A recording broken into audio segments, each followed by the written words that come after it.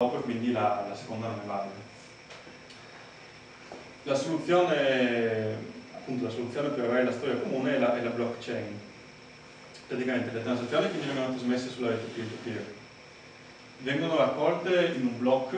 eh, che contiene un hash di quello precedente. Per chi non sa cos'è un, un, hash non è molto importante, il, la, la, cosa essenziale che appunto è, è, che queste transazioni vengono raccolte in un block e, e ognuno di questi block è legato in modo univoco a quello precedente, quindi c'è una, una, catena è detta blockchain e il punto fondamentale è che in questo modo è impossibile cambiare un, un blocco passato senza cambiare tutti quelli successivi okay? perché cambiando, cambiando, una transazione in un blocco passato cambia il suo hash e vanno cambiati anche tutti quelli successivi. E allora eh, l'idea adesso qual è? È quella di mh, mm, dire per creare un blocco non basta crearlo così da nulla, ma bisogna, una certa, bisogna spendere una certa quantità di energia, bisogna fare un certo lavoro computazionale. E in questo modo si può controllare la, la, la posizione di, di blocco e rendere in un certo, un certo senso metterci un freno. Ed esattamente questa è l'idea, l'idea della, della, proof of work, la prova di, di, lavoro computazionale, nel senso che uno per creare un blocco eh, deve dimostrare di aver fatto una certa quantità di lavoro computazionale. E questo dal punto di vista informatico ha, viene fatto in questo modo, che secondo me è molto carino. Uno deve, deve pro, pro, proporre il suo blocco e alla, alla, fine del blocco ci mette dei, dei bit ci aggiunge dei bit, in modo che quando tutta questa cosa sia hashata dia una, una stringa con n che inizi con n0. Allora chiaramente, appunto per chi sa le, cosa sono le funzioni hash, questa cosa è, non c'è altro modo, siccome io da, diciamo, dall'output di una funzione hash non sono in grado di non ho, non un, modo, un modo intelligente di cambiare l'input per ottenere un certo output, l'unica cosa è provare tutti, tutte le possibili stringhe di bit finché ne trovo una che per caso mi dà, per fortuna mi dà una stringa con delle zero. Il, il lavoro in media, diciamo, statisticamente esponenziale nel, nel numero di zeri. Nel che se io come aumento il numero di zeri mm, mi richiede esponenzialmente più lavoro per dare una, una stringa di bit che, che, vada bene. E questo infatti è la, il parametro che viene che viene tarato periodicamente in modo da controllare la posizione di blocco. Allora se, appunto, come dicevo prima, per cambiare un blocco, eh, a questo punto dovrei cambiare tutti quelli successivi. E a questo punto se per creare un blocco mi serve fare un certo lavoro computazionale, per cambiare un blocco dovrei rifare il lavoro computazionale di quel blocco e di tutti quelli successivi. E ehm, in questo modo, vabbè, sicuramente chi chi fa questo lavoro computazionale che detto, sono detti miners, che sono quelli che accennavo prima, è ricompensato con 25 bitcoin per ogni blocco creato. Ci è autorizzato a mettere come prima transazione nel blocco eh, una transazione in cui dà a se stesso 25 bitcoin che precedentemente inesistenti. E quindi l'idea è che, che loro offrono un servizio che rendono sicura la rete, nel senso che se eh, io faccio una transazione, finisce in un blocco, come passa il tempo, eh, vengono messi molti altri blocchi davanti e diventa più difficile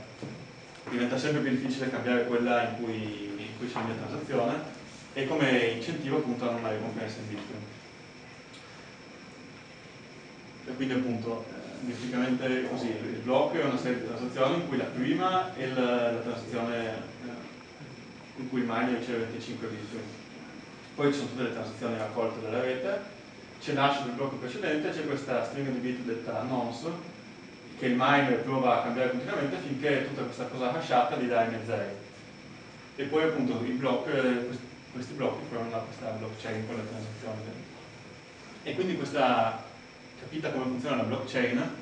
questo risolve il problema originario che dicevo del, del block spending, del, del, scusate, del double spending. Perché il double spending corrisponde a, una, a questo punto a una bifurcazione della, della, catena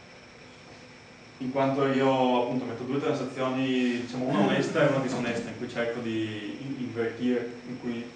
diciamo una onesta in cui mando certi bitcoin a una persona e poi un'altra in cui dello stesso mio indirizzo ne mando la stessa quantità a un altro indirizzo magari che possiedo io.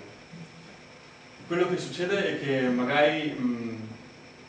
la prima transazione finisce in un blocco e io dovrei per, essere, per riuscire a imbrogliare il sistema dovrei riuscire a mettere la, la mia, la, riuscire a mettere la seconda, quella disonesta, in un blocco e invece scartare la prima e, e quindi creare una bifurcazione della blockchain. Però siccome c'è appunto c'è anche la regola, eh, secondo cui il ramo più lungo della blockchain è sempre quello ritenuto valido, allora sostanzialmente ogni eh, miner può, può, votare, nel senso che può, può, dire secondo me è questa la catena autentica, questa contiene delle due transazioni, se c'è una bifurcazione, ok, una ha una transazione, una quella, diciamo ci sono due transazioni in contraddizione, ogni miner può dire no, io ho ricevuto per prima questa e quindi continuo ad attaccare i blocchi a questo ramo qui, secondo me questo è più disonesto. E in questo modo eh, quello che succede è che se io voglio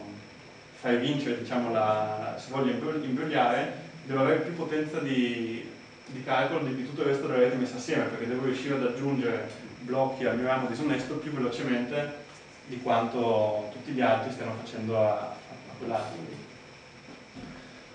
Quindi capito questo appunto rivediamo che hanno tutte le, le, le caratteristiche della chiave valore, sono scarsi, sono uniformi, sono trasportabili chiaramente molto più dell'oro perché eh, si possono andare da una parte all'altra del pianeta in pochi istanti e indifferentemente che la quantità sia equivalente diciamo, a 10 centesimi o a 10 miliardi di euro, è assolutamente uguale. Sono appunto per il principio crittografico secondo cui è più facile eh, criptare che decriptare sono facilmente identificabili ma difficilmente falsificabili, sono non deteriorabili, sono anzi prodotti di un rate molto più prevedibile che loro perché appunto ogni tot blocchi viene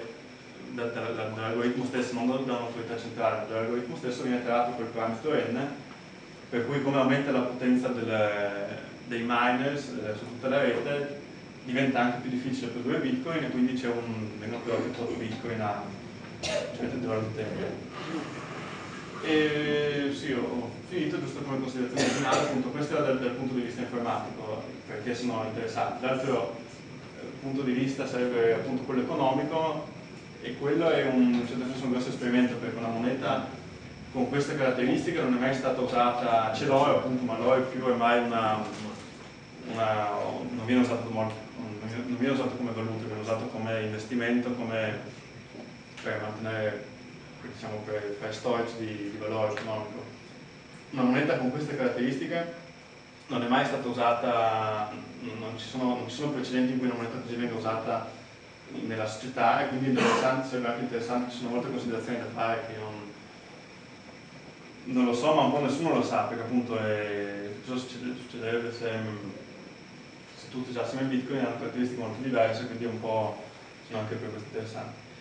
Qui ci sono delle referenze, c'è il, il, paper originale di Satoshi Nakamoto, il, wiki che ha molte informazioni, poi vabbè, fonti più eh, riguardo alle news e discussioni, e poi c'è questo blog post di, su, su, questo,